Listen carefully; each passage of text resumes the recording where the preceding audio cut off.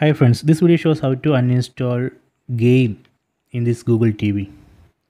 First go to apps. Select apps from top, then go down and select your apps. From this list we need to find the app or game which we want to uninstall. I will be showing two methods. This is a method one. So I am going to uninstall this Badland game select the game icon then press and hold select or ok button on the remote then select view details then select uninstall so this is a method one. So let me go to method two. Go back select settings.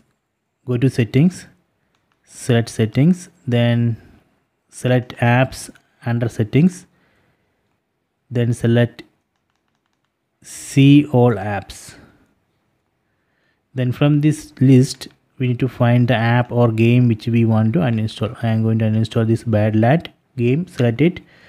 Then select uninstall.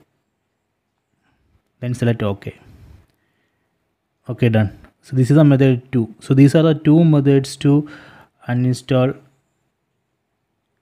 uninstall uh, install a game or any app. Okay. So please try this